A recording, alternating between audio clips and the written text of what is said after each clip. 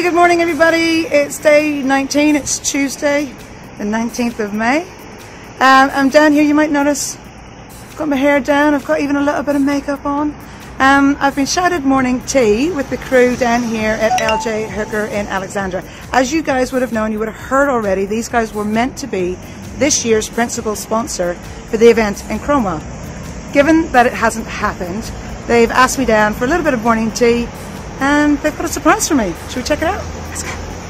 Let's see. What have we got? We're going to walk in the door and it's going to go a bit dark. Hi! Hello! Hi!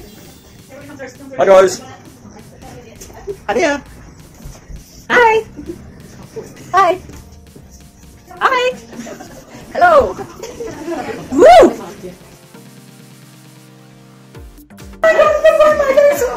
Thank you, girl. How's it going? Come on, come on. Oh my god, that's amazing. We're really well in social bubble. Look at me. Oh, thanks, guys. Woo! thousand dollars for the appeal that we couldn't do for the fundraiser. And we also want to challenge other businesses out there to come up, don't have to be thousand dollars, but anything that they Anything. will that they will donate towards your appeal will be That is so fantastic. cool, guys. Thank you so much. There you go.